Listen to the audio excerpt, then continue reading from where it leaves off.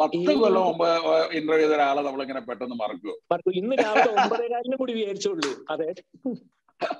അതാണ്. ആദ്യമായിട്ടാണ് ഞാൻ സിംഗ് സൗണ്ട് സിനിമ ചെയ്തത് അപ്പൊ ഇതിൽ അതിന്റെ ഒരു ക്വാളിറ്റി ഭയങ്കര പട്ടി അനുസരിച്ച് ചേരാൻ പോകുന്നു എന്നല്ല എഴുതിയേക്കാൻ പറ്റുള്ളൂ.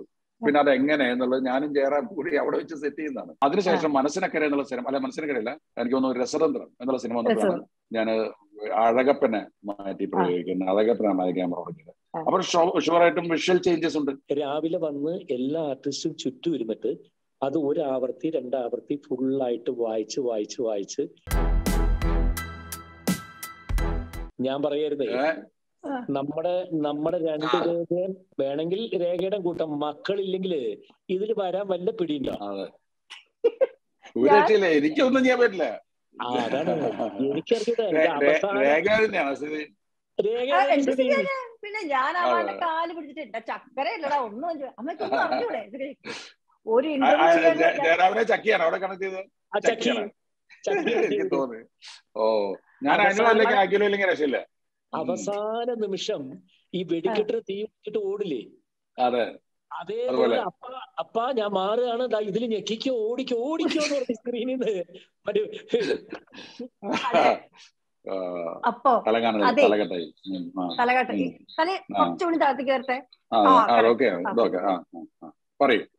കുറച്ചുകൂടി. സത്യേട്ടാ. ഞാൻ ആദ്യം തുടങ്ങട്ടെ ഞാൻ ആദ്യം തുടങ്ങട്ടെ. അല്ല ഞാൻ പറഞ്ഞിങ്ങനെ സത്യേട്ടന് വരുന്നില്ലല്ലോ കിട്ടുന്നില്ലല്ലോ എന്ന് എന്റെ അടുത്ത് രണ്ടു പ്രാവശ്യം ചോദിച്ചു. ഞാൻ പറഞ്ഞു ഞാൻ പറഞ്ഞു നിങ്ങൾ സത്യനന്ദിക്കാട് എന്ന് പറഞ്ഞു കഴിഞ്ഞാൽ നിങ്ങൾ സംവിധായകൻ അല്ലെങ്കിൽ റൈറ്റർ അങ്ങനത്തെ ചിന്തിക്കണ്ട. കാലത്ത് പാടത്ത് മരുന്നടിക്കാൻ പോയി കാണും അത് കഴിഞ്ഞ് വരാൻ വൈകിക്കാണെന്ന് പറഞ്ഞാൽ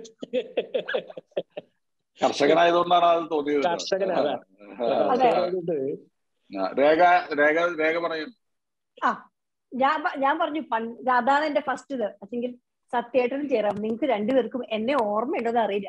പത്ത് കൊല്ലം മുമ്പ് ഞാൻ അന്തിക്കാട് പാടത്ത് വെച്ചിട്ട് സത്യേട്ടനെ ഇന്റർവ്യൂ ചെയ്തിട്ടുണ്ട്. പത്ത് കൊല്ലം മുമ്പ് നിങ്ങൾ ജയറാമിനെ മസ്കറ്റ് ഹോട്ടലിന്റെ ഉൾത്തകടിയിൽ നടന്നുകൊണ്ട് ഇന്റർവ്യൂ ചെയ്തിട്ടുണ്ട്. ഓർമ്മയുണ്ടോ? പത്ത് കൊല്ലം മുമ്പ് ഇന്റർവ്യൂ ചെയ്ത ഒരാളെ നമ്മളിങ്ങനെ പെട്ടെന്ന് മറക്കുമോ ഇന്ന് രാവിലെ ഒമ്പതേകാലിനും കൂടി വിചാരിച്ചുള്ളൂ. അതെ. അതാണ്. അപ്പോഴേ ഇത്രയും ഡയലോഗ് വെച്ചൊരു സിനിമ മകൾ പ്രൊമോട്ട് ചെയ്യും. ഇനി നമുക്ക് ഒരു കാര്യത്തിലേക്ക് കടക്കാം. അതെ. അപ്പോ ജയറാമിനോട് ചോദിക്കട്ടെ? സത്യന്റെ കൂടെ എന്താ പറയാ എത്രയോ കാലങ്ങളായി. മകൾ എന്ന നിങ്ങളുടെ ഈ സിനിമ സെറ്റിൽ ഞാൻ മീര ജാസ്മിൻ ഉണ്ടെന്ന് മീര പറഞ്ഞൊരു കാര്യം സത്യേട്ടന്റെ സെറ്റുകളിലുള്ള സന്തോഷം തമാശയും. അപ്പോ സത്യേട്ടനോട് കൂടിയാണിത്. ജയറാം ഈ സത്യേട്ടന്റെ സെറ്റിലേക്ക് വരുമ്പോൾ എന്താണ് താങ്കളുടെ മനസ്സിന്റെ ഒരു ഒരു സംഭവം? അത് മകളിലെ എങ്ങനെയായിരുന്നു?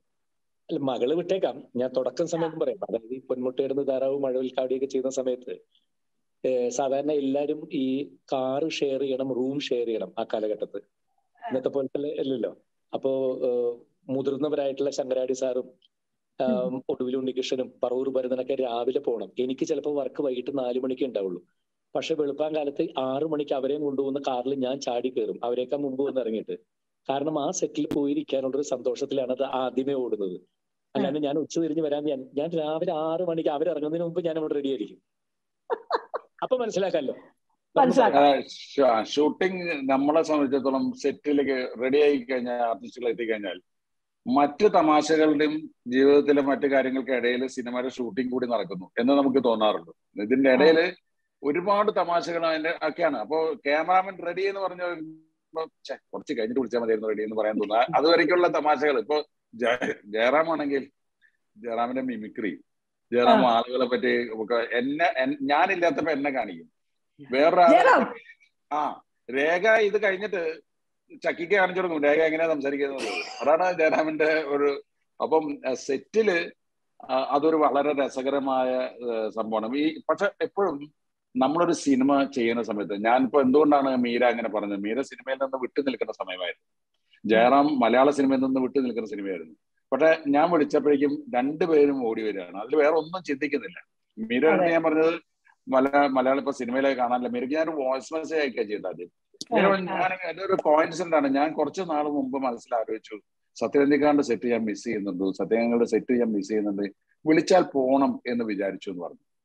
ജയറാമും ഓൾമോസ്റ്റ് അങ്ങനെ തന്നെയായിരിക്കും വിചാരിച്ചിട്ടുണ്ടാവുക കാരണം ഒരു ഒരു സിനിമയിൽ അഭിനയിക്കുന്നത് അതിന്റെ സാമ്പത്തിക മൂല്യം മാത്രമല്ല. അത് അതിലൊരു എൻജോയ്മെന്റ് ഉണ്ടല്ലോ. ആ എൻജോയ്മെന്റ് ആണ് നമുക്ക് ഇവരൊക്കെ കൂടി വരുമ്പോൾ ഉണ്ടാവുന്ന സന്തോഷം പറയുന്നത്. അല്ലേ ജാറാം? ഞാൻ പത്ത് വർഷമായിട്ട് എപ്പോ വിളിക്കും എപ്പോ വിളിക്കും എപ്പോ വിളിക്കും വിചാരിച്ചിരുന്നിട്ട് ലാസ്റ്റ് വിളി വന്ന് ഇതാണെന്ന് അറിഞ്ഞപ്പോ ഞാൻ ഓടി പൂജാമുരുടെ മുമ്പിലേക്ക് ഓടിയത്. സത്യം. അത് അത് ഞാൻ പറഞ്ഞു സത്യേട്ടിന് വീട്ടിലേക്ക് പോയാൽ തന്നെ നമ്മൾ ആ ഒരു ഒരു നന്മയുണ്ട്. അപ്പൊ അത് സെറ്റിൽ എത്രയോ നമുക്കറിയാം. ജയറാം. കിട്ടി. ഈ അന്തിക്കാട് അതെ. അന്തിക്കാട് ഞാൻ എന്തൊക്കെ കിട്ടിയെന്ന് ഞാൻ ചോദിക്കായിരുന്നു. മാങ്ങ കിട്ടിയോ ചക്ക പോകുന്നവർക്ക് അരി. പപ്പടം. പിന്നെ സോപ്പ്. പിന്നെ അവിടെയുള്ള സകല മാങ്ങ പല തേങ്ങ അപ്പൊ എന്നോട് എന്റെ അമ്മ ചോദിച്ചു നീ സത്യന്തിക്കാണ്ട് ഇന്റർവ്യൂവിനല്ല കൊള്ളയടിക്കാനാ പോയി? എന്ന് വെച്ചു അവനും അല്ല ഇത് മറക്കില്ല ഞാൻ ആ മെമ്മറി ഓക്കെ സത്യയുടെ പ്രാവശ്യം. മകളുടെ ഷൂട്ടിങ് ആ. എന്റെ കുറച്ച് കൃഷിപ്പണിയുള്ള സ്ഥലത്തിന് തൊട്ടടുത്തായിരുന്നു. ആ. അതുകൊണ്ട് ലൊക്കേഷനിലേക്ക് എന്തൊക്കെ ഞാൻ കൊണ്ടുവരുന്ന ചോദിച്ചേ വാഴ പഴം ഡെയിലി പഴം പഴം സാധനങ്ങളെല്ലാം വീട്ടിൽ നിന്ന് അല്ല അവിടുന്ന് നേരെ കൊണ്ടുവന്നിട്ട് ഈ ഞങ്ങളുടെ സെറ്റിലെ യൂണിറ്റിലെ ആൾക്കാരെല്ലാം പഴം തിന്ന് മതിയായി. ജയറാമുണ്ടാവുന്ന രാസവളം ഇല്ലാത്ത ജൈവ വളം മാത്രം ചെയ്തിട്ടുള്ള വളയുടെ ഇതൊക്കെ ഒരു സ്നേഹത്തിന്റെ പ്രസന്റേഷൻ ആണ്. ഇപ്പൊ രേഖ വന്നു സോപ്പ് ചേച്ചി നിമ്മിണ്ടാക്കിയ സോപ്പ് കൊണ്ടുപോയി. ഇത് ഇതൊക്കെ പറഞ്ഞാൽ ഒരു അതിന്റെ വേലയല്ല നമ്മൾ സന്തോഷമാണ്. അതെ. സന്തോഷമാണ് അത് അതെ. സെറ്റിൽ അങ്ങോട്ടും ഇങ്ങോട്ടും ഉണ്ടാവുക എന്നുള്ളതാണ് ഏറ്റവും വലിയ രസം. അതാണ്. ജയറാം ഈ മകളുടെ കഥ കേട്ടപ്പോ സത്യേന്റെ അടുത്ത് നേരെ പൂജാമുറിയിലേക്ക് ഓടി. അത് കഴിഞ്ഞ് കഥ എപ്പോഴാ കേട്ടെ? കഥ കേട്ടിട്ടല്ല. അടുത്ത സിനിമയിൽ ഞാൻ ഉണ്ടെന്ന് അറിഞ്ഞപ്പോ അതെ. കഥ കഥ കേട്ടത് ഗുരു ഗുരു ഗുരുവായൂരപ്പനെ കാണാൻ വന്നപ്പോഴാണ്. കഥ കേട്ടത്.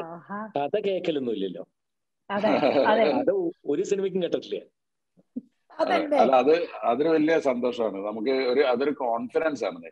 ഞാൻ പലപ്പോഴും പറയാറില്ല. ഇപ്പൊ ഈ അച്ചുവിന്റെ അമ്മ എന്നുള്ള സിനിമ ഷൂട്ട് ചെയ്യുന്ന സമയത്ത് നമുക്ക് ഉർവശീനെ ഞാൻ വിളിച്ചു. ഉർവശി എട്ട് കൊല്ലമായിട്ട് സിനിമയിൽ മാറിയൊക്കെയായിരുന്നു ഞാൻ ഉർവശിനെ വിളിച്ചപ്പോ സിനിമയിൽ അഭിനയിക്കാം എന്ന് പറഞ്ഞപ്പോ ഞാൻ പറഞ്ഞു കഥ പറയുന്നതിന് മുമ്പ് കാര്യം പറയാം. മീര ജാസുവിന്റെ അമ്മയായിട്ട് അഭിനയിക്കണം. ഉർവശി പറഞ്ഞ ഡയലോഗ് ഞാൻ പലപ്പോഴും പലരോടും പറയാറുണ്ട്. സത്യേട്ടന്റെ സിനിമ ആണെങ്കിൽ സുകുമാരി ചേച്ചിയുടെ അമ്മയായിട്ട് ഞാൻ അഭിനയിക്കുന്നു പറഞ്ഞു. അത് ഒരു വിശ്വാസമാണ്. ഈ സിനിമയ്ക്ക് ജയറാമനെ വിളിച്ചപ്പോൾ ഞാൻ ജയറാമിനോട് ജയറാമിനോട് പറഞ്ഞു ഒരു പ്ലസ് വൺ കുട്ടിയുടെ അച്ഛനായിട്ടാണ് അഭിനയിക്കുന്നത് എന്റെ അടുത്ത് പറഞ്ഞു ഞാൻ കാളിദാസിന്റെയും ചക്കീന്റെയും അച്ഛനല്ലേ? പിന്നെന്താ പ്രശ്നം? ചോദിച്ചത്. അതായത് ഇമേജ് അല്ല ഇമേജ് അല്ല അല്ലെങ്കിൽ വേഷങ്ങളല്ല. ആ സിനിമയുടെ ഭാഗമാകുക എന്നുള്ളത് ഒരു വലിയ സന്തോഷമായി. മാറുന്നു. അതൊരു വലിയ ഭാഗ്യം. അപ്പൊ സത്യം പറഞ്ഞാൽ സത്യേട്ടൻ വീണ്ടും ഒരു ഹിസ്റ്ററി റിപ്പീറ്റ് ചെയ്യുക. കാരണം ഏഴ് കൊല്ലം കഴിഞ്ഞ് എട്ട് കൊല്ലം കഴിഞ്ഞ് ഉർവശിച്ചു പറഞ്ഞ മാതിരി ഏഴ് കൊല്ലം കഴിഞ്ഞ് ജാസ്മിൻ തിരിച്ചു കൊടുക്കും. അതെ അതെ അതെ അതെ. പതിനൊന്ന് വർഷമായി ജയറാം വന്നതെന്നുള്ളത് ഞങ്ങൾ പോലും അറിഞ്ഞിട്ടില്ല. പതിനൊന്ന് വർഷമായോ? സിനിമ കഴിഞ്ഞ് പതിനൊന്ന് വർഷമായി എന്നുള്ളത് നമ്മൾ പോലും അറിയുന്നില്ല. അത് എന്നും അങ്ങോട്ടും ഇങ്ങോട്ടും ഫോണിൽ സംസാരിക്കുന്നോണ്ട് അറിയുന്നില്ല. അതാണ് അതെ. അപ്പൊ ഇടയിൽ ഞാൻ പ്രകാശനും ജോ. മറ്റേ ജോ മറ്റേ എന്താ സുവിശേഷം ജോമോന്റെ സുവിശേഷം. ഒക്കെ വന്നപ്പോ വന്നപ്പോ ജയറാമിന് തോന്നില്ല എന്താ സത്യത്തെ നമ്മളെ വിളിക്കാത്തത്? ഏ ഒരിക്കലും തോന്നിയിട്ടില്ല. ഞാനായിട്ട് ചോദി ആ. അതൊക്കെ വേണ്ടി അറിയാലോ. വരുമ്പോ വിളിക്കുന്ന ജയനാവനെ അറിയാം അതാണ് അറിയാം. അതെ അതെ. ഇതിലെന്താ പറയുക? ഞാൻ ഇതിലിപ്പോ മകളിനെ പറ്റി പറയുമ്പോ ഞാൻ എന്റെ ഞാൻ സിനിമ ചെയ്യുമ്പോൾ ആദ്യം എന്റെ മനസ്സിൽ വരുന്നത് ഇന്ന് ഇന്ന് ഏത് വിഷയം ചെയ്യണം? ഇപ്പൊ ഒരു സിനിമ കഴിഞ്ഞിട്ട് അടുത്ത കഥ പ്ലാൻ ചെയ്യുന്നു അപ്പൊ ഒരു സബ്ജക്ട് ഏതായിരിക്കണം ചെയ്യണം? അപ്പം എനിക്കും ആൺമക്കൾ മാത്രമേ ഉള്ളൂ. മൂന്ന് പേരും ആൺമക്കളാണ്. എനിക്ക് പെൺമക്കളില്ല. മകളില്ല. പക്ഷെ മകളില്ല ഒരുപാട് ആളുകൾ നമ്മുടെ സുഹൃത്തുക്കളാണ്. അപ്പൊ ഈ സ്ക്രിപ്റ്റ് എഴുതി ഇക്ബാൽ കുറ്റിപ്പുറത്ത് ഒരു മോളുണ്ട്. അപ്പൊ ഒരു ടീനേജ് ഉള്ള മകളെ ഒരു അച്ഛൻ എങ്ങനെ ഡീൽ ചെയ്യുന്നു എന്നുള്ളത് ഒരു കൗതുകമുള്ള വിഷയമായിട്ട് എനിക്ക് തോന്നി. അമ്മ ഡീൽ ചെയ്യും സാധാരണയായിട്ട് അച്ഛന്റെ അമ്മയും മോളും കൂടി ഫ്രണ്ട്സാണ് ഒരു അച്ഛനും ഒരു ടീനേജറും തമ്മിലുള്ള റിലേഷൻഷിപ്പിൽ ഉണ്ടാകുന്ന വൈരുദ്ധ്യങ്ങളും അവരുടെ അവരുടെ പ്രശ്നങ്ങളും അത് സരസമായിട്ട് പ്രസന്റ് ചെയ്യാമെന്ന് ആഗ്രഹിക്കുമ്പോഴാണ് ഒരു കഥ നമ്മുടെ മനസ്സിലെത്തുന്നത് അപ്പോൾ അച്ഛൻ ആര് ആരായിരിക്കണം എന്ന് ആലോചിച്ചപ്പോൾ എന്റെ മനസ്സിൽ ആദ്യം വന്ന മുഖം ജയറാമിന്റെയാണ്. കാരണം ജയറാമിന് അത് മനസ്സിലാവും. ജയറാമിന് ഒരു മോളുണ്ട്. ഒരു മകളുണ്ട്. ചക്കിയുണ്ട്. അപ്പൊ ചക്കിയായിട്ടുള്ള റിലേഷൻഷിപ്പ് ജയറാമിന് വളരെ ഈസി ആയിട്ട് മനസ്സിലാവും. അപ്പോ ഇങ്ങനെ പല ഘടകങ്ങളും ചേർത്തിട്ടാണ് ഒരു സിനിമ നമ്മൾ ആലോചിക്കുന്നത്. അപ്പോ ഞാൻ ആലോചിക്കുന്ന വെച്ചാൽ കാണാൻ വരുന്ന പ്രേക്ഷകനും ഇങ്ങനെ തന്നെയാണ്. അവർക്ക് മകളിൽ അവരെയും അവരുടെ മകളെയും കാണാൻ സാധിക്കണം. ഓ ഇത് നമ്മുടെ വീട്ടിൽ സംഭവിച്ചതാണല്ലോ. ഇത് നമ്മുടെ മോൾ എന്നോട് പറഞ്ഞാണല്ലോ എന്ന് പറയും. അതിനു വേണ്ടിയിട്ടാണ് നമ്മൾ കാസ്റ്റ് ചെയ്യുന്നതും എല്ലാം. അപ്പൊ ഒരു കഥയിലേക്ക് എത്താൻ സത്യേട്ടന് എത്ര സമയം പിടിക്കും ജയറാം മോഹൻ ബസു യൂഷ്വലി ഒരു കഥയിലേക്ക് എത്താനായിട്ട് സത്യേട്ടന് എത്ര സമയം പിടിക്കും? ഒരു സിനിമ കഴിഞ്ഞിട്ട്? അല്ല അതിന് നമുക്കൊരു സമയത്തിന്റെ ഒരു കാലയളവ് നമുക്ക് പറയാൻ പറ്റില്ല. കാരണം ഒരു കാര്യം മാത്രമേ ഉള്ളൂ. എന്നെ മനസ്സിലേക്ക് ഫീൽ ചെയ്യിപ്പിക്കുന്ന ഒരു സിനിമ ഒരു വിഷയം വരുമ്പോൾ മാത്രമേ ഞാൻ സിനിമ ചെയ്യാറുള്ളൂ. ചിലപ്പോൾ അത് മൂന്ന് മാസമാവാം നാല് മാസമോ ആറ് മാസമോ ഒരു വർഷം വരെ ആവാം. നമുക്ക് നമുക്ക് സിനിമ ചെയ്യണമെന്ന് തോന്നുമ്പോൾ മാത്രമേ സിനിമ ചെയ്യാൻ പാടുള്ളൂ. ഞാൻ എന്റെ മക്കളോടും പറയാറുണ്ട് അടുത്തൊരു കമ്മിറ്റ്മെന്റ് ഇങ്ങനെയാണെന്ന് പറഞ്ഞിട്ട് നമ്മൾ സിനിമയ്ക്ക് എടുത്ത് ചാടരുത്. ഞാനൊരു പത്തിരുപത് കൊല്ലമായിട്ട് ചെയ്യുന്ന ഒരു രീതി എന്ന് വെച്ചാൽ ഒരു പ്രൊഡ്യൂസറേക്കൊന്നും അഡ്വാൻസ് വാങ്ങാറില്ല. അപ്പൊ നമ്മൾ. എന്തുകൊണ്ട് സിനിമ ചെയ്തില്ല എന്നിട്ട് വെച്ച് ഹലോ പൈസ വാങ്ങിച്ചിട്ട് അഡ്വാൻസ് വാങ്ങിയിട്ട് എത്ര കാലം ഒരു മനുഷ്യനോട് ചോദിക്കില്ല. ഈ സിനിമ കഴിഞ്ഞാൽ അടുത്ത സിനിമ എന്താണെന്ന് എനിക്ക് അറിഞ്ഞൂടാ. മനസ്സിലായില്ലേ? ഇഷ്ടം പോലെ പ്രൊഡ്യൂസർമാരുണ്ട് എല്ലാവരോടും ഞാൻ ചെയ്യാമെന്ന് പറഞ്ഞിട്ടുണ്ട്. പക്ഷെ ഒരു ഒരു ഒരു വിഷയം നമ്മുടെ മനസ്സിൽ വന്നിട്ട് അത് ഏത് പ്രൊഡ്യൂസർ ചെയ്യുന്നതാണ് നല്ലത് എന്ന് ചിന്തിക്കും. അങ്ങനെയുണ്ട്. ചിലത് ഇത് K T C P V ഗംഗാനം ചെയ്യുന്നതാണ് നല്ലത്. ഇത് സേതു മണ്ണാർക്കാട് ചെയ്യുന്നതാണ് നല്ലത്. ഇത് സെൻട്രൽ പിക്ചേഴ്സ് ചെയ്യുന്നതാണ് നല്ലത് എന്ന് മനസ്സിൽ ചിന്തിക്കാൻ അത് അതിൽ തെരഞ്ഞെടുക്കാൻ പറ്റുന്നത് ഒരു വലിയ ഭാഗ്യമാണ്. എല്ലാവർക്കും ഭാഗ്യം. കിട്ടണമെന്നില്ല. പക്ഷെ ഒരു- ഒരു- ഒരു ഒരു കഥ എപ്പോഴാണ് വന്നു വീഴുക എന്നുള്ളത് നമുക്കറിയില്ല. പക്ഷെ നമ്മുടെ കണ്ണും കാതും തുറന്നിരിക്കുക. സൊസൈറ്റിയിൽ ഉണ്ടാവുന്ന ചലനങ്ങളാണ് നമ്മുടെ സിനിമയ്ക്ക് കൊണ്ടുപോകുന്നത്. അല്ലാണ്ട് ഇപ്പോ പണ്ടത്തെ പോലെ വലിയ നാടകീയമായ ഡ്രമാറ്റിക് ആയിട്ടുള്ള കഥകളല്ലേ ഉള്ളൂ ഉണ്ടാവുന്നത്. നമുക്ക് അടുത്ത് ഇപ്പൊ നമ്മുടെ കണ്ണിന്റെ മുമ്പിൽ കാണുന്ന ഒരു വിഷയമാണ് ഞാൻ പ്രകാശം ചെയ്യുന്ന സമയത്ത് ഈ കേരളത്തിനോട് പുച്ഛമുള്ള എങ്ങനെയെങ്കിലും വിദേശത്തൊക്കെ കടന്ന് കാശുണ്ടാക്കണമെന്ന് മാത്രം ചിന്തിക്കുന്ന ഒരു മലയാളി യുവാവ് ഇന്നത്തെ തലമുറയിൽ ആണ്. അതേപോലെ ഈ ജയറാമിന്റെ കഥാപാത്രത്തിന്റെ ഇപ്പൊ നന്ദൻ പ്രവാസി നന്ദൻ എന്ന് പറയുന്ന കഥാപാത്രത്തിന്റെ കാലത്തല്ല മകൾ ജനിച്ചിട്ടുള്ളത്. അപ്പൊ അവൾ അവൾക്ക് ഒരുപാട് ഫ്രണ്ട്സ് ഉണ്ട്. ആ ഫ്രണ്ട്സിന്റെ കൂടെ ആൺകുട്ടികൾ ഉണ്ടാവും പെൺകുട്ടികൾ ഉണ്ടാവാം ഈ ജയറാമിന്റെ ഈ നന്ദന്റെ കാലഘട്ടത്തിൽ ഒരു ആൺകുട്ടിയായിട്ട് സംസാരിച്ചു കഴിഞ്ഞാൽ അവളുടെ പ്രണയമായിരുന്നു ചിന്തിണ്ടാവും. ഈ ഒരു കമ്മ്യൂണിക്കേഷൻ ഗ്യാപ്പ് സരസമായി പ്രസന്റ് ചെയ്യാനാണ് മകൾ ജയറാം സത്യേട്ടൻ എങ്ങനെയാ സംവിധാനം ചെയ്യാ താങ്കളെ? അത് സത്യേട്ടന്റെ ഭാഷയിൽ ഇത് പറയും അത് ഇങ്ങനെ കാണിച്ചാൽ നന്നാവില്ല. അത് ഞാൻ രേ- രേഖ ഉള്ളപ്പോ ബോഡി ലാംഗ്വേജ്? അതാണ്. യൂഷ്വലി എന്താ ചെയ്യാ സത്യേട്ടൻ? സെറ്റിൽ വരുമ്പോ ഒരു റോൾ ഒരു ഒരു സീൻ എങ്ങനെയാണ് താങ്കളോട് പറഞ്ഞത്? സാധാരണ രണ്ട് തരത്തിലുണ്ടല്ലോ. ആൾക്കാർ അഭിനയിച്ച് കാണിക്കും. ഇത് സത്യേട്ടൻ വരുന്നതിന് മുമ്പ് മോൻ എന്റെ അടുത്ത്. അനൂപ് എന്റെ അടുത്ത് ഒന്ന് കാണിക്കുക അച്ഛനെ പോലെ കാണിക്കുക പറയുമ്പോ അതൊക്കെ ഞാൻ അതില്ലാത്തപ്പോ കാണിക്കാറുണ്ട്. എന്നാലേ നന്നാവുള്ളൂ അപ്പൊ ഞാൻ ഞാൻ- കാണിച്ചുതരാം ഇനി അല്ല അപ്പൊ രേഖ ചോദിച്ചാൽ അതല്ല. ഒരു സെറ്റിൽ നമ്മൾ ഞാൻ എങ്ങനെയാണ് ജയറാമിന്റെ അടുത്ത് സീൻ നറേറ്റ് ചെയ്യുന്നത്? സീൻ ആ. സീൻ നറേറ്റ് ചെയ്ത് ഒന്നാമത് ഈ മകളിനുള്ള സിനിമ അഭിനയിക്കാൻ വരുന്നതിന് മുമ്പ് ഞാൻ അന്തിക്കാട് പോയി അതിന്റെ തുടക്കം തൊട്ട് അവസാനം വരെ കേട്ട് എന്റെ മനസ്സിൽ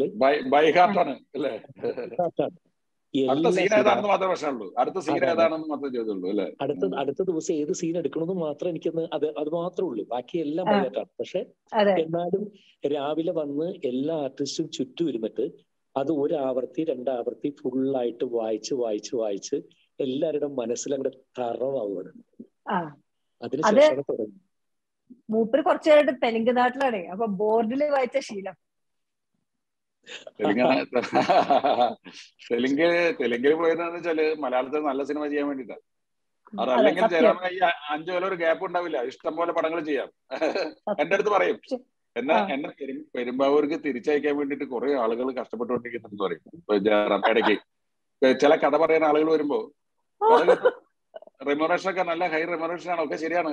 കാരണം ഇത് കഴിഞ്ഞാൽ എനിക്ക് നേരെ പെരുമ്പാവൂർക്ക് തിരിച്ചു പോകാം അതാണ് നേരെ അടുത്ത വണ്ടിക്ക് പെരുമ്പാർക്ക് വിടാം. അതുകൊണ്ട് പെരുമ്പാവൂർ പോവാതിരിക്കാൻ വേണ്ടിട്ടാണ് തെലുങ്കാനയിലേക്ക് പോയത്. തെലുങ്ക് അതെ അത് അപ്പൊ പറയും ഞാൻ നേരത്തെ ഇന്റർവ്യൂ കൂടെ പറഞ്ഞു ബാക്കിൽ എഴുതി വെക്കും ബോർഡിൽ അപ്പൊ ഞാൻ പറഞ്ഞു മലയാള സിനിമയിൽ ആ പ്രശ്നമില്ലല്ലോ. അല്ലെ? ബോർഡ് വേണ്ട ഈ-. സിനിമയിൽ ഈ സിനിമയിൽ പ്രോംപ്റ്റിംഗും ഇല്ല.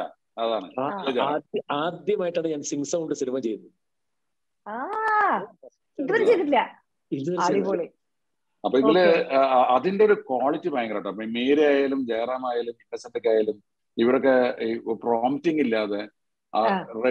റിയൽ ആയിട്ട് ബിഹേവ് ചെയ്യുന്ന അതിന്റെ ആ. ശബ്ദത്തിന്റെ ഇടർച്ചയായാലും അതിന്റെ വിക്കലായാലും അത് മുഴുവൻ അത് ബ്രില്യന്റ് ആയിട്ടുള്ള ഒരു റെക്കോർഡിസ്റ്റ് വേണം. അതാണ് ഇപ്പൊ നമുക്ക് ഇപ്പം ഷാറൂഖ് ഖാന്റെ ഒക്കെ പടങ്ങൾ ചെയ്യാറുള്ള അനിൽ രാധാകൃഷ്ണനാണ് ഇതിന്റെ. സൗണ്ട് ചെയ്തിരിക്കുന്നത് അപ്പം അതിമനോഹരമാണ്. അത് ഒരു വല്ലാത്ത എക്സ്പീരിയൻസ് നമുക്ക് ഒരിക്കൽ സിംഗ് സൗണ്ട് ഷൂട്ട് ചെയ്ത് കഴിഞ്ഞാൽ സിനിമ എടുത്തു കഴിഞ്ഞാൽ പിന്നെ നമുക്ക് സിംഗ് സൗണ്ട് അല്ലാതെ ഡബിങ്ങിനെ പറ്റി ചിന്തിക്കാൻ പ്രയാസമാണ്. അത്യാവശ്യം വല്ല ക്രൗഡ് വരുന്ന സമയത്ത് വല്ല വോയിസ് മാറ്റിയെടുക്കാന്നല്ലാതെ ഒരു വീടിന്റെ ഉള്ളിലൊക്കെ നടക്കുന്ന സീനുകളുടെ ഇന്റിമസി. ജയറാമൻ അത് ഇത് ഇത് എക്സ്പീരിയൻസ് ചെയ്യാവുന്നതാണ്. ഈ സിനിമ കാണുമ്പോൾ മനസ്സിലാവും എന്താണ് അതിന്റെ മനസ്സിലാവും. അല്ല അതെ. അല്ല രേഖ ഞാൻ സാധാരണ ഈ മോണിറ്റർ വന്ന പിന്നെ ഈ ഓരോ ഷോട്ട് കഴിയുമ്പോഴും ഈ മോണിറ്ററിൽ പോയിട്ട് കുനിഞ്ഞു ഞാൻ നോക്കാറേ ഇല്ല. ആ ഏരിയയിലേക്ക് പോകാറില്ല. പക്ഷെ ഈ സിനിമയിൽ ഞാൻ ഓരോ ഷോട്ട് കഴിയുമ്പോഴും പതുക്കെ അതിൽ നാണക്കേടാവും ഇല്ലാന്ന് വിചാരിച്ചത് എപ്പോഴും ഒന്ന് കുഞ്ഞു നോക്കും. അത് എന്താ വെച്ചാൽ രണ്ട് കാര്യങ്ങൾക്കാണ്. ഒന്ന് ആദ്യമായിട്ട് നമ്മുടെ സിങ് സൗണ്ട് എന്ത് ക്ലാരിറ്റിയിൽ കേൾക്കുന്ന ശബ്ദം. രണ്ടാമത് എസ് കുമാറിന്റെ ക്യാമറയിൽ അങ്ങോട്ട് സുന്ദര അങ്ങോട്ട് അലുവ പോലെ ഇരിക്കുന്ന ഓരോ ഷോട്ട് ഓടി. ഭംഗിയായിട്ട് വയ്ക്കുന്ന ഓരോ ഫ്രെയിമായി അവർ ഇട്ട് കാണാൻ വേണ്ടി ഇങ്ങനെ ഒന്ന് നോക്കും ഓരോ ഓരോന്ന് കഴിയും അത് കുഴപ്പമില്ല എസ് കുമാർ സത്യയുടെ സത്യമാണ് ശരിക്കും എപ്പോഴും ഒരുപാട് ടെക്നീഷ്യൻസിനെയും മ്യൂസീഷ്യൻസ് ഒക്കെ ഒരുമിച്ച് ഒരുപാട് റിപ്പീറ്റ് ചെയ്യാറുണ്ട്. യു ആർ വെരി കംഫർട്ടബിൾ ഈ ആൾക്കാരുടെ കൂടെ. അപ്പൊ ചില സമയത്ത് ചില സമയത്ത് നമ്മൾ കാണുള്ളൂ വേറൊരാൾ വന്നിട്ട് ചിലപ്പോൾ മിക്കവാറും മേനേജറിനും അല്ലെങ്കിൽ എസ് കുമാറായിരിക്കും അല്ലെ ക്യാമറ അപ്പൊ അങ്ങനെ ഒരു ഇത് ഇതിൽ വരുമ്പോ ഒരു ഒരാളുടെ കൂടെ വർക്ക് ചെയ്യുമ്പോൾ നമുക്ക് അങ്ങനെ എല്ലാം അറിയാം. പക്ഷെ അത് ചില സമയത്ത് പുതിയ ആൾക്കാരിൽ അങ്ങനെ അങ്ങനെ നോക്കിയിട്ടുണ്ടോ? പുതിയ ആൾക്കാരെ കൊണ്ടുവരാൻ അല്ലെങ്കിൽ ഒരു ഒരു കോമ്പിനേഷൻ തോട്ട് പ്രോസസ് ഉണ്ടോ? അല്ല ഞാൻ റിപ്പീറ്റ് ചെയ്യുന്ന ആളുകൾ എല്ലാവരും ആ ആ മേഖലയിൽ പ്രാവീണ്യം തെളിയിച്ചിട്ടുള്ള ആൾക്കാർ ആർട്ടിസ്റ്റുകളായാലും ടെക്നീഷ്യന്മാരായാലും അതല്ലാതെ ഒരു സൗഹൃദത്തിന് വേണ്ടി മാത്രം റിപ്പീറ്റ് ചെയ്യാറില്ല. അപ്പൊ ആക്ടേഴ്സ് ലളിത ചേച്ചി അല്ലെങ്കിൽ ഒടുവിൽ ശങ്കരാടി ഇന്നസെന്റ് ജയറാം മോഹൻലാൽ ഇവരൊക്കെ നമ്മളെ കൂടെ ചോദിച്ചാൽ ഇവരെല്ലാം മലയാളത്തിലെ ഗ്രേറ്റ് ആർട്ടിസ്റ്റ് അതുപോലെ തന്നെ ടെക്നീഷ്യൻസ് ടെക്നീഷ്യൻസ് ഇപ്പൊ എന്റെ സിനിമകളിലെ ഒരു മുപ്പതോളം സിനിമകൾ വർക്ക് ചെയ്തിരിക്കുന്നത് വിപിൻ മോഹൻ ക്യാമറ വിപിൻ മോഹൻ. ആ വിപിന്റെ കോൺട്രിബ്യൂഷൻ എന്ന് വെച്ചാൽ ഭയങ്കര ഹൈ ആണ്. അതായത് വിപിൻ വിഷ്വൽസിൽ മാത്രമല്ല സ്ക്രിപ്റ്റും ശ്രദ്ധിക്കുന്ന ഒരാളാണ്. ഹ്യൂമർ ഒക്കെ വിപിൻ അവിടെ ചിലപ്പോൾ സമയത്ത് ആ ഷൂട്ടിംഗ് സമയത്ത് ചില സ്പോട്ടിലൊക്കെ ചില കാര്യങ്ങളൊക്കെ കോൺട്രിബ്യൂട്ട് ചെയ്യും. അതിനുശേഷം മനസ്സിനക്കര എന്നുള്ള സിനിമ അല്ല മനസ്സിനക്കരയില്ല എനിക്ക് തോന്നുന്നു രസതന്ത്രം എന്നുള്ള സിനിമ വന്നപ്പോഴാണ് ഞാൻ അഴകപ്പനെ മാറ്റി പ്രയോഗിക്കുന്നത്. അഴകപ്പനാണ് അത് ക്യാമറ തുടങ്ങിയത് അപ്പൊ അപ്പോൾ ഷുവറായിട്ടും വിഷ്വൽ ചേഞ്ചസ് ഉണ്ട്. അത് വേണു വന്നപ്പോ വേറൊരു ഭാഗ്യദേവര ചെയ്തത് വേണുവാണ്. വേണു വന്നപ്പോ അവിടുത്തെ ബാക്ക് വാട്ടേഴ്സും അതിന് വേറൊരു ഭംഗി വന്നു. എസ് കുമാർ എന്ന് പറയുന്നത് എനിക്ക് തോന്നുന്നത് മലയാളത്തിലെ ഏറ്റവും ഒരു ക്ലാസിക് സിനിമകളുടെ ടോൺ കീപ്പ് ചെയ്യുന്ന ഡയറക്ടറാണ് ഒരു കോംപ്രമൈസും ഇല്ല. ക്യാമറയുടെ മുമ്പിൽ ഒരു ആർട്ടിസ്റ്റ് എത്ര നേരം നിൽക്കുന്നു എന്നൊന്നും പുള്ളിക്ക് പ്രശ്നം പുള്ളി. ഭയങ്കര സ്വാർത്ഥനാണെന്നില്ല കാര്യം ആ ഷോട്ട് നന്നാവുക ഷോട്ട് നന്നാവുക എന്നുള്ളതാണ്. നമുക്ക് ഞാൻ എത്ര നേരം വേണമെങ്കിൽ കാത്തിരിക്കാൻ തയ്യാറാണ്. എന്റെ ഫൈനൽ റിസൾട്ട് എന്ന് പറഞ്ഞാൽ ഞെട്ടിപ്പിക്കുന്നതാണ്. ഇതിൽ ജയറാം എന്തുകൊണ്ടാണ് പടം കണ്ടിട്ട് പലരും എന്റെ അടുത്ത് പറഞ്ഞു മീര ജാസ്മിൻ പണ്ടത്തൊക്കെ ഭംഗിയായിരിക്കുന്നു. ജയറാം അന്ന് വന്നതിനേക്കാൾ സുന്ദരനായിരിക്കുന്നു. അതൊരു പരിധി വരെ കുമാറിന്റെ കൂടി കഴിവാണ്. അതെങ്ങനെ എങ്ങനെ ആംഗിൾ വയ്ക്കണം. അതൊരു ഭാഗ്യം കേട്ടോ. നിത്യഹരിത പ്രേമസീത വിട്ട് നമ്മൾ നിത്യഹരിത നായകൻ ഇങ്ങനെ പേരിടാം അതെ അതെ അതെ. പ്രേമ പ്രേമനസീറിന്റെ ഒരുപാട് ഗുണങ്ങൾ പുള്ളിക്ക് ഉണ്ട് ആരും കണക്കില്ല. പിണക്കില്ല മനസ്സിലായില്ലേ ദേഷ്യം വന്നാലും അതെ. പ്രകടിപ്പിക്കില്ല. എന്നോടൊക്കെ. നല്ല ദേഷ്യം ദേഷ്യം പലപ്പോഴും വരാറുണ്ട്. മനസ്സിലായില്ലേ? ഞാൻ ഒരു ദിവസം രാത്രി നമ്മൾ ഫൈറ്റ് ഷൂട്ട് ചെയ്യുമ്പോൾ ഫൈറ്റ് മാസ്റ്റർ പറഞ്ഞു. ജയറാം സാർ വെയിറ്റ് പണിട്ടിരിക്കാങ്ക ഇപ്പൊ രണ്ടു മണി കഴിഞ്ഞു മൂന്ന് മണി. തൊട്ടായി. ഞാൻ. ജയറാം നമ്മൾ. അത് എത്ര നേരം ആയാലും ഫൈറ്റ് എടുത്തോളൂ. ജയറാം അപ്പുറത്ത് എങ്ങനെയെങ്കിലും റൂമിൽ പോയാൽ കൊള്ളാതിരിക്കുമ്പോഴാണ് ജയറാം നമ്മുടെ ആളല്ലേ. അപ്പൊ ജയറാം എന്തായാലും മതിയല്ലോ. ഉള്ളിൽ ദേഷ്യം പറ്റുന്നുണ്ടോ പക്ഷെ അത് പറയൂല പറയാൻ പറ്റൂല. അതാണ് പ്രശ്നം.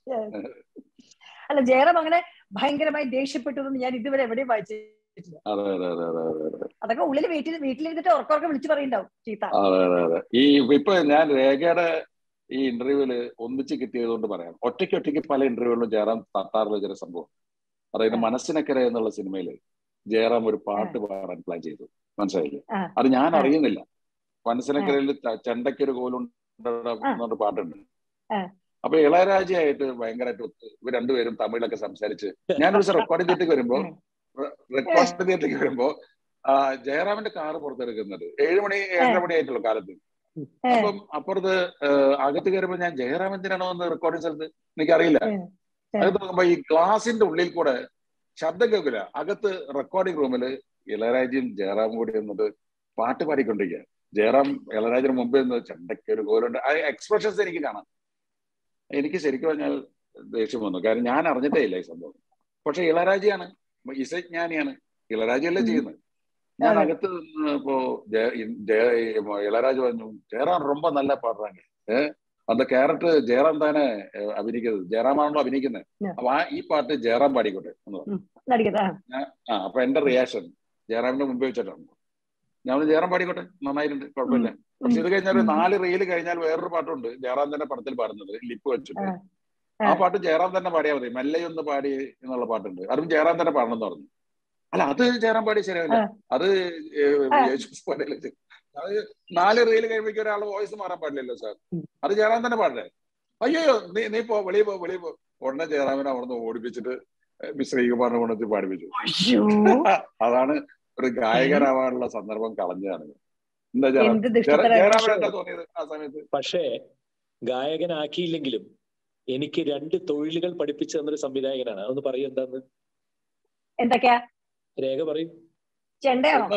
അല്ലല്ല ഒന്ന് ഒന്ന് ഒന്ന് തലമൊട്ടടിക്കാൻ ഇതോട് രാജൻ പറഞ്ഞു മഴവിൽ കാവടി രണ്ടാമത് ഓട്ടോറിക്ഷ ഓടിക്കാൻ. അതെ അതെ അതെ. അത് ഞാൻ പഠിച്ചത്. കഥ അതെ അതെ അതെ അതെ അതെ. ഈ രണ്ട് ജോലിയും പഠിച്ചിട്ടുണ്ട്. എവിടെ പോയാലും പട്ടിണി ശരിക്കും പറഞ്ഞ ഒന്നുകൂടി ഉണ്ട്. അതായത് തൂ- തൂവൽ കൊട്ടാരം എന്നുള്ള സിനിമയിൽ ചെണ്ട വക്കീലായിട്ട് അഭിനയിക്കുമ്പോ ചെണ്ട കൊട്ടി തുടങ്ങിയപ്പോഴാണ് എനിക്ക് കൈ ഇപ്പോഴും വഴങ്ങുന്നുണ്ട്. കുട്ടിക്കാലത്ത് പഠിച്ചത് മറന്നിട്ടില്ല എന്ന് ഓർച്ച് അപ്പൊ തൊട്ടാണ് രണ്ടാമത് ചെണ്ടയിലേക്ക് ഇറങ്ങിയത്. അപ്പൊ മൂന്നാൾക്കാർ അപ്പൊ ഗായകനായാലും കുഴപ്പമില്ല. പാട്ടുകാരനായാലും അതെ. കുഴപ്പമില്ല. പിന്നെ ഗായകനായിട്ടുണ്ടല്ലോ. അതല്ല അതെ, അതെ, അതെ. എന്നോട് രാജൻ പറഞ്ഞു. അതായത് മഴവിൽക്കാവടി സമയത്ത് ജയറാം പ്രാക്ടീസ് ചെയ്ത് മുഴുവനും യൂണിറ്റിലെ ആൾക്കാരെ തലമുടി മൊട്ടയടിച്ചിട്ട് അതെ ചെയ്തിട്ടാണ് അല്ല അതെ അല്ല ആദ്യമൊക്കെ കുറെ പേരുടെ തല മുറിഞ്ഞു.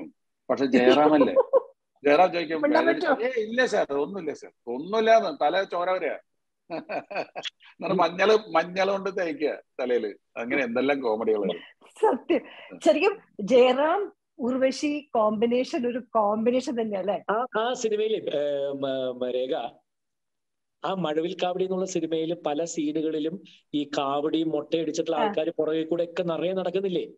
അതൊക്കെ യൂണിറ്റിലെ ആൾക്കാരും പ്രൊഡക്ഷനിലെ ആൾക്കാരുമാണ് നിറയെ പേര്. എല്ലാം ഞാൻ മുട്ടയടിച്ചിട്ടുള്ള ആൾക്കാരാ. ഹര ഹരോ ഹരാന്ന് പറഞ്ഞ പുറകെ കൂടെ പോകുന്നത്. അപ്പൊ അത് ഒരു അല്ലെ ഇതാണ് ഞാൻ പറഞ്ഞത്. ഷൂട്ടിംഗ് സമയത്ത് നമ്മളൊരു ഒരു ജോലി മാത്രമല്ലാതായി മാറാണ്. ഒരു സംവിധായകനാണെന്ന് ഞാനോ അല്ലെങ്കിൽ ആക്ടേഴ്സ് ആണെന്ന് ജയറാമോ മീരയോ ഒന്നും ചിന്തിക്കുന്നില്ല. ആ സെറ്റിലേക്ക് വരുമ്പോൾ ആ സെറ്റിന്റെ കൂടെ നിൽക്കുന്നു എന്നുള്ള അത്. ഇവർ മാത്രമല്ല മോഹൻലാലും അങ്ങനെ തന്നെയായിരുന്നു ഫഹദ് ഫാസിലും അങ്ങനെ തന്നെയായിരുന്നു. ആർക്കും ഒരു അന്യമായ സ്ഥലമാണെന്ന് ഫീൽ ചെയ്യിപ്പിക്കാം. എനിക്കിപ്പോ ജയറാം വന്നപ്പോ എന്റെ ഏറ്റവും വലിയ സന്തോഷം ഷൂട്ടിങ്ങിന് പോകുന്നതിന് മുമ്പ് അഖിലായിരുന്നു എന്റെ അസോസിയേറ്റ് ഡോക്ടർ അഖിൽ സത്യനെ. അപ്പൊ അഖിൽ ഇപ്പം ഫഹദിനെ വെച്ചിട്ട് വേറൊരു സിനിമ ചെയ്തോണ്ടിരിക്കുക ആയതുകൊണ്ട് ഞാൻ അനൂപിന്റെ അടുത്ത് പറഞ്ഞു അവൻ ഏതായാലും വരണ ആവശ്യമുണ്ടെന്നുള്ള സിനിമ ചെയ്ത് കഴിഞ്ഞു. അവനാണെങ്കിൽ വധുവിനെ കിട്ടിയിട്ടില്ല അവൻ കല്യാണം കഴിച്ചിട്ടില്ല അപ്പൊ എപ്പോഴാണ് കിട്ടുക അറിഞ്ഞൂടാ. ഇനിയിപ്പോ ഈ പ്രോഗ്രാം കണ്ടിട്ട് ആരെങ്കിലും അവനൊരു. പെൺകുട്ടിയെ എന്റെ മകളെ കല്യാണം കഴിക്കാന്ന് പറഞ്ഞാണെങ്കിൽ വരട്ടെ നമുക്ക് നോക്കാം. അപ്പൊ അവനടുത്ത് ഞാൻ പറഞ്ഞു നീ എന്റെ അസോസിയേറ്റ് ആയിട്ട് വാ ഞാൻ ഒറ്റ കാര്യം പറഞ്ഞുള്ളൂ. ഷൂട്ടിങ്ങിന് ശ്രദ്ധ പോകരുത്. കാരണം ശ്രദ്ധ മാറ്റിപ്പിക്കാനുള്ള ഒരാളാണ് ഹീറോ ജയറാം. ജയറാമിന്റെ കൂടെ നിന്ന് തമാശ പറഞ്ഞിട്ട് അത് കേട്ട് ഈ ജോലി വിടാൻ പാടില്ല. സത്യമായിട്ട് ഇത് തന്നെ. എപ്പോ നോക്കിയാലും ജയറാമിന്റെ പറയൽ. ഇന്നസെന്റ് പറഞ്ഞാൽ ഇന്നസെന്റും ജയറാം ഇവരെ അത് മൊത്തം യൂണിറ്റ് അങ്ങനെയാണ്. ഷൂട്ടിംഗ്. കഴിഞ്ഞ് പോകുമ്പോ സാധാരണ നമ്മുടെ ഒരു ടോട്ടൽ വർക്ക് കഴിഞ്ഞ് പോകുമ്പോ എല്ലാവരും ഓ എന്നാലും ഇത്രയും നാളത്തെ ജീ വർക്ക് കഴിഞ്ഞാൽ ഇനി വീട്ടിലേക്ക് പോവാ. ഹാപ്പി ആയിട്ട് പോകുന്നതിന് പകരം കരഞ്ഞിട്ടാണ് പോകുന്നത് പലരും. നമ്മുടെ മോളൊക്കെ ശരിക്കും പറഞ്ഞാൽ ദേവിക സഞ്ജയനൊന്നും പോകാൻ ഇഷ്ടമില്ല സെറ്റ് ചെയ്ത്. മനസ്സിലായില്ലേ? കരച്ചിലാണ്. എല്ലാവരും. മീരാ ജാസ്മിൻ അടക്കം പോകുമ്പോ ഇന്ന് ലാസ്റ്റ് ഡേ ആണെന്ന് എന്നോട് പറയണ്ടെന്ന് പറഞ്ഞിട്ടുണ്ടായിരുന്നു. നേരത്തെ. എപ്പോഴാണ് ഷൂട്ടിംഗ് തീരുന്നത് കഴിഞ്ഞിട്ട് പറഞ്ഞാൽ മതി എന്നാണ്. ഇംപ്രവൈസേഷൻ വലിയൊരു കാര്യമല്ലേ സിനിമയിൽ? അപ്പൊ അങ്ങനെ നിങ്ങൾ ഇതിന്റെ കോമ്പിനേഷൻസ് നിങ്ങൾ രണ്ടുപേരും ഉണ്ടായിരുന്ന സിനിമകളിൽ എന്തെങ്കിലും അങ്ങനെ പെട്ടെന്ന് ചെയ്തത് ഭയങ്കര സൂപ്പർ ഹിറ്റ് ആയിരുന്നു which was not in the script ധാരാളം. ഒരുപാട്. സ്ക്രിപ്റ്റ് എന്ന് പറയുന്നത് നമ്മൾ അവിടെ എത്തുന്ന സമയത്ത് അതൊരു ഒരു ഒരു രേഖ മാത്രമായിരുന്നു ഈ രേഖയല്ല. സ്ക്രിപ്റ്റ് എന്ന് പറയുന്നത് ഒരു എഴുതപ്പെട്ട ഒരു രേഖയാവുകയും അത് അതിന്റെ അടിസ്ഥാനത്തിലാണ് നമ്മൾ സിനിമ ചെയ്യുന്നത്. അപ്പൊ ചിലപ്പോൾ അതിൽ ഇല്ലാത്ത കുറച്ച് ഡയലോഗ്സ് ഉണ്ടായിരുന്നു വരും ഇല്ലാത്ത ചില മൊമെന്റ്സ് ഉണ്ടായിരുന്നു വരും. അപ്പൊ നമുക്ക് ചിരിക്കാവുന്ന ചിരിപ്പ് കിട്ടാവുന്ന ഒരു സമയങ്ങളും കളയില്ല. അതിൽ നമുക്ക് പടത്തിൽ നമുക്ക് സ്ക്രിപ്റ്റിൽ എഴുതി വെക്കാൻ പറ്റാത്ത വിധത്തിലുള്ള നർമ്മം. പ്രത്യേകിച്ചും ജയറാമും ഇന്നസെന്റും ഒക്കെ ഉണ്ടാവുന്ന സീനുകളിൽ ഉണ്ടാവും. ഇപ്പൊ. ഒന്നും വേണ്ട. ഇപ്പൊ ഇതിൽ ഒരു ഒരു ഒരു കന്നടക്കാരൻ വരുന്നുണ്ട്. അത് പടം കാണുമ്പോഴേ നമുക്ക് മനസ്സിലാവുള്ളൂ. ആ കന്നഡക്കാരനെ ഒരു കാറിൽ കയറ്റി അയക്കണം. അപ്പൊ കന്നഡക്കാരൻ കന്നഡയിൽ ചോദിക്കും കൂടെയുള്ള ആൾ ജയശങ്കർ എന്ന് പറഞ്ഞ നടനാണ്. ഇത് ആരാണ് എന്ന് ചോദിക്കും കന്നഡയിൽ. അപ്പൊ ഡയലോഗ് ഉള്ളത് എന്റെ ഫ്രണ്ടാണ് എന്നാണ്. അപ്പൊ ജയറാം ടേക്കിൽ പറഞ്ഞത് ഇത് കന്നഡയിലാണുള്ളത് കന്നഡയിലാണല്ലോ ഇത് ആരാണ് ചോദിച്ചു ഫ്രണ്ടു. കന്നഡയിലാണ് ഫ്രണ്ടു അപ്പൊ ഇത് കുഞ്ഞു സാധനങ്ങളാണ്. ഇതൊക്കെ സിനിമയിൽ ഭയങ്കര രസമാണ്. അതുപോലെ ഒരു ഒരു- ഒരു പട്ടി നഷ്ടപ്പെട്ടിട്ട് പോയിട്ട് ജയറാം ആ പട്ടി അന്വേഷിച്ച് പോകുന്നൊരു സീക്വൻസ് ഉണ്ട്. അത് കാണുമ്പോൾ മനസ്സിലാവും. അതൊക്കെ അതൊക്കെ എഴുതി വെക്കാൻ പറ്റാത്തതാണ്. അത് നമുക്ക് പട്ടി അന്വേഷിച്ച് ചേരാൻ പോകുന്നു എന്നല്ല എഴുതി വെക്കാൻ പറ്റുള്ളൂ. പിന്നെ അത് എങ്ങനെ എന്നുള്ളത് ഞാനും ചേരാൻ കൂടി അവിടെ വെച്ച് സെറ്റ് ചെയ്യുന്നതാണ്. അപ്പൊ അത്തരം ഒരുപാട് നർമ്മങ്ങൾ പിന്നീട് നമുക്ക് പറഞ്ഞു ചിരിക്കാവുന്ന അതാണല്ലോ കാലത്തിന് അതീതമായി നിൽക്കുമ്പോഴാണല്ലോ സിനിമ നന്നാവുന്നത്. സന്ദേശം സന്ദേശം എന്നുള്ള സിനിമ ഇറങ്ങിയിട്ട് മുപ്പത്തൊന്ന് കൊല്ലമായിട്ട് ഇപ്പോഴും അത് വിമർശിക്കപ്പെടുന്നു പോളണ്ടെ പറ്റി പറയരുത്. അതിലെ ഓരോ ഓരോ തമാശകൾ ഇപ്പോഴും ആൾക്കാർ ഇതപ്പോ ലേറ്റസ്റ്റ് ഒരു ട്രെയിലർ ആയിട്ട് ഇറങ്ങിയിരിക്കുന്നു അതിന്റെ ഡയലോഗ്സ് അല്ലേ ജയറാം? അതെ. അപ്പൊ കാലത്തിന് അതീതമായി നിൽക്കണമെങ്കിൽ നമ്മുടെ ഒരു ഒരു മനസ്സ് അതിൽ അർപ്പിക്കണം. ആ മനസ്സർപ്പിക്കുന്ന മനസ്സ് അർപ്പിക്കുന്ന ആർട്ടിസ്റ്റുകളോട് വർക്ക് ചെയ്യാന്ന് പറഞ്ഞാൽ വലിയൊരു സുഖമാണ്. ഒരു ഷൂട്ടിംഗ് എന്ന് പറയുന്ന ഒരു ഭാരമായിട്ട് നമുക്ക് തോന്നില്ല അതെ. സത്യേട്ടന്റെ ഫിലിമോഗ്രാഫി നോക്കുമ്പോ ജയറാമിന്റെ ആണ് ജയറാം ഒരു കൊല്ലം പന്ത്രണ്ട് സിനിമകൾ റിലീസ് ചെയ്തിട്ടുണ്ട്. താങ്കൾ ഒരു കൊല്ലം എൺപത്തി ആറ് എൺപത്തി ഏഴിലൊക്കെ ആറും ഏഴും പടങ്ങളാണ് ഒരു കൊല്ലം റിലീസ് ആയിരിക്കുന്നത് ഇപ്പൊ അങ്ങനെ ഒരു അവസ്ഥയെ ആലോചിക്കാൻ പോലും പറ്റില്ല അല്ലെ? അന്ന് ഇത് എങ്ങനെ സാധിച്ചു നിങ്ങൾ രണ്ട് താങ്കൾക്ക് അഭിനയിക്കണം താങ്കൾക്ക് സംവിധാനം എഴുത്ത് സംവിധാനം ലിറിക്സ് എല്ലാം. ഇതെങ്ങനെ സംഭവിച്ചു ചേട്ടാ അല്ല ഇത് ആദ്യകാലത്ത് ഒരു കൊല്ലം മൂന്ന് സിനിമയാണ് ഞാൻ ശരിക്കും ചെയ്തിട്ടുള്ളത്. പക്ഷെ അതിന് മുമ്പുള്ള കൊല്ലത്തെ പടങ്ങൾ രണ്ടെണ്ണം അതിൽ കയറി വന്നുകൊണ്ടാണ് അഞ്ചാറ് അഞ്ചെണ്ണം ഒക്കെ ആയത്. എൺപത്തി ആറിൽ എൺപത്തി ആറിൽ ചെയ്തതിൽ ടി പി ബാലോപാലനമ്മേ ഗാന്ധിനഗർ സെക്കൻഡ് സീറ്റ് ഷീറ്റ് സന്മാനസുള്ള സമാധാനം. രേവതിക്ക് ഒരു പാവകുട്ടിയും പപ്പം പ്രയോട്ടപ്പനും കഴിഞ്ഞ അതിന് മുമ്പുള്ള പടമായിരുന്നു കയറി വന്ന് കണ്ടുപിടിക്കുക പക്ഷെ അന്ന് എങ്ങനെയാണെന്നറിയോ ഒരു സിനിമ കഴിഞ്ഞാൽ റിലീസ് ചെയ്താൽ അടുത്ത ദിവസം തൊട്ട് അടുത്ത സിനിമയുടെ ജോലിക്ക് പോകലാണ് ഞാനും ശ്രീനിവാസനും. അന്ന് ഞങ്ങൾ രണ്ടാളും എഴുതാൻ പിന്നെ അപ്പോ പ്ലാൻ ചെയ്യുകയും വളരെ ഫാസ്റ്റ് ആയിട്ട് തീരും സിനിമകൾ അപ്പൊ എത്ര നമുക്ക് നമുക്ക് ഒരു ഇരുപത് ദിവസത്തിനുള്ളിൽ സിനിമയുടെ ഷൂട്ടിംഗ് തീരും വരവേൽപ്പ് എന്നുള്ള സിനിമ ഒരു ബസ്സും ഒക്കെ ഉണ്ടായിട്ടുള്ള സിനിമ. ഇരുപത്തൊന്ന് ദിവസമാണ് ഷൂട്ട് ചെയ്തിരിക്കുന്നത്. സന്മനസ്സുള്ള സമാധാനം ഷൂട്ട് ചെയ്തിരിക്കുന്നത് പത്തൊമ്പത് ദിവസമാണ്. ഈ. പൊന്മുട്ടണ താറാവുന്ന പടം ഷൂട്ട് ചെയ്തിരിക്കുന്നത് ഇരുപത്തൊന്ന് ദിവസമാണ്. അത്രേ വേണ്ടൂ. ഇന്ന് അറുപത് ദിവസം ഇല്ലാതെ നമുക്ക് ഷൂട്ട് ചെയ്യാൻ പറ്റില്ല. മനസ്സിലായില്ലേ? അപ്പോ ഒന്ന് ഒന്ന് ടെക്നോളജി വികസിച്ചു. ഈ എക്യുപ്മെന്റ്സിന്റെ സാധ്യതകൾ വർദ്ധിച്ചു. ഡിജിറ്റലിലേക്ക് സിനിമ മാറി. അപ്പൊ കുറേ കൂടി ശ്രദ്ധയോട് കൂടിയിട്ട് ഷോർട്സ് എടുക്കണം. പിന്നെ കുറച്ചുകൂടി റിലാക്സ് ചെയ്തിട്ട് അഭിനയിക്കണം. കാര്യം ഓഡിയൻസിനും ഒക്കെ മാറ്റം വന്നു. പണ്ടത്തെ പോലെ തിയേറ്റർ മാറിയില്ലേ പണ്ട് A class B class C class ഇന്നിപ്പോ അന്തിക്കാണ്ട് തൊട്ടടുത്ത് തന്നെ ഏറ്റവും ടോപ്പ് തിയേറ്റേഴ്സ് ഉള്ള കാലമായി മാറി. ആ മാറ്റം എല്ലായിടത്തും ഉണ്ടായിരുന്നു അയ്യോ പറഞ്ഞ പോലെ ഇന്ന് ആരാ അപ്പനെ ഹെൽപ്പ് ചെയ്ത സൂമിൽ കയറാൻ സന്ദേശത്തിനോടുള്ള വൈരാഗ്യം കൊണ്ട് ആളുകൾ എന്നെ ഇപ്പോഴും സോഷ്യൽ മീഡിയയിൽ തെറി പറയാറുണ്ട്. രാവിലത്തെ ഒരു കാറിൽ കയറി വരുന്നത് ആരുടെയൊക്കെ കൂടെയാണ് പറവൂർ. ഭരതൻ ഉണ്ണികൃഷ്ണൻ ശങ്കരാടി സാറ് മറ്റ് കരമന ജനാർദ്ദൻ നായർ ലളിത ചേച്ചി ഫിലോമിന ചേച്ചി മീന ചേച്ചി ഒരു ഫുൾ സെറ്റിന്റെ കൂടെ പോരുന്നത്? അപ്പൊ ജയറാം ഇത് അറിയുന്നില്ല. ജയറാം മാളവികനെ പരിചയപ്പെടുത്താ. ഇത് എന്റെ മകളാണ്. എന്റെ എന്റെ മകൾ. കഴിഞ്ഞ ഞാൻ ജയറാമിന്റെ അടുത്ത് പറഞ്ഞു. പേരിട്ടു. എന്താണ് പേര്. മകൾ.